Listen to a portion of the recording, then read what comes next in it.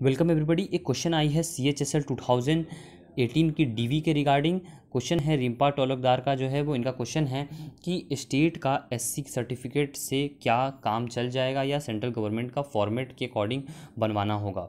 तो देखिए, सबसे पहले मैं बता दूँ कि आपको जो है वो सेंट्रल गवर्नमेंट के फॉर्मेट पे ही बनवाना होगा। अगर आपके पास कोई भी पुराना सर्टिफिकेट है जो कि स्टेट लेवल पर बना हुआ है तो आप जो है वो न्यू सर्टिफिकेट भी एक बनवा लें जो कि सेंट्रल गवर्नमेंट के फॉर्मेट पर बना हो। और यूजअली अगर आप स्टेट से बनवाएँगे तो पहले जो है वो स्टेट के ही जो है वो फॉर्मेट पर बनता है।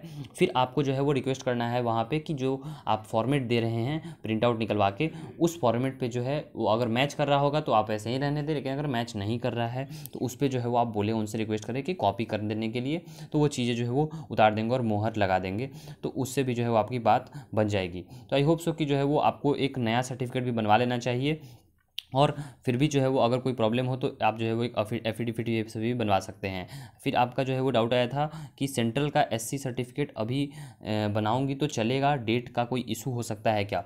देखिए डेट का इशू हो सकता है ऐसा इस वजह से क्योंकि वो जो है वो सर्टिफिकेट आपसे पहले का मांगा गया है। क्रूसियल डेट तो हालाँकि मेंशन नहीं है लेकिन ये जो फॉर्म आई थी आपकी 2019 में फॉर्म आई थी तो इस वजह से 2019 में फॉर्म आई थी तो उस समय का सर्टिफिकेट होगा तो, तो होता तो ज़्यादा अच्छा रहता लेकिन अगर जो है वो स्टेट का है आपके पास तो सेंट्रल वाला जो है वो अभी का भी बनवा ले तो कोई भी प्रॉब्लम नहीं होगी।